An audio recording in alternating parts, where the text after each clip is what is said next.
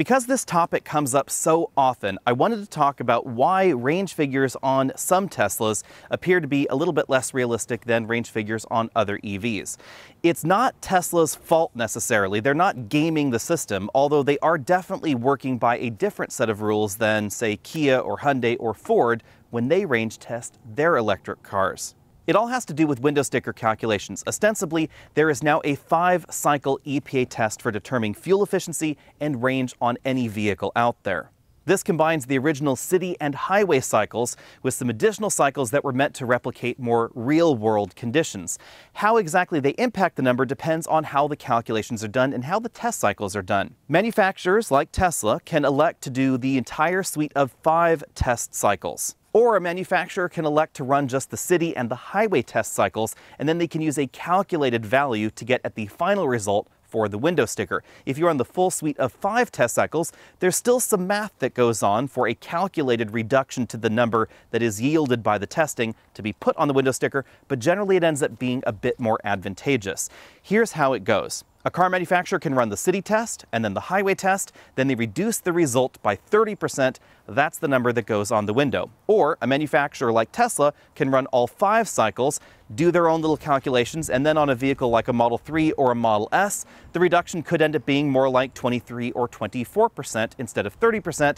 That gives you a bigger number on the window. Also, manufacturers can elect to derate the window sticker if they think that's going to be a bit more appropriate, more in line with customer expectations. For instance, the average Porsche Taycan has 8 miles of range docked from the window sticker simply because Porsche wanted to.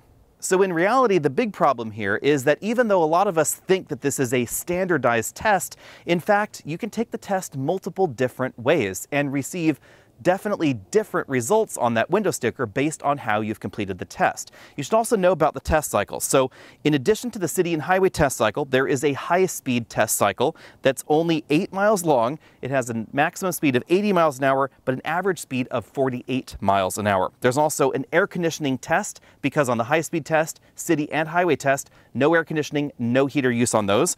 There's an air conditioning test loop that reaches a top speed of 55 miles an hour, but only an average speed of 21 miles an hour. It's only 3.6 miles long and has uh, temperatures ambient of 95 degrees.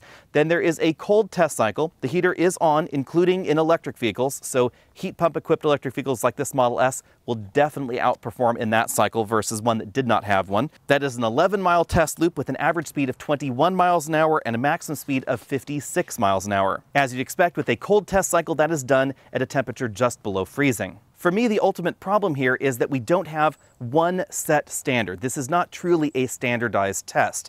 So you could get a Tesla that had a range of 300 miles on the window sticker and a competitor with 270 miles of range on the window sticker, and the 270 mile range vehicle could actually exceed the range of the 300 mile rated vehicle on the exact same drive driving back to back. And that is definitely something that I have proved before in our range test between a Ford Mustang Mach-E and a Tesla Model Y. The Model Y was certainly more efficient, but it did not meet its EPA range numbers, whereas the Ford was awfully close.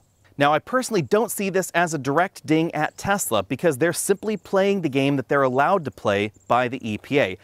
Personally, I blame the EPA. I think that the EPA should have just one set of standards for every EV out there, so that way we can make those direct comparisons window sticker to window sticker. So Unfortunately, until we see that reality, keep that in mind when you're comparing Teslas or Audis or some other EV manufacturers that may start adopting this same test methodology to another vehicle that doesn't. Thanks for watching. Be sure and hit that subscribe button down there so you can be updated on all of my latest content, including a full review of this Tesla Model S and its complete range test as well. I'll see all of you later.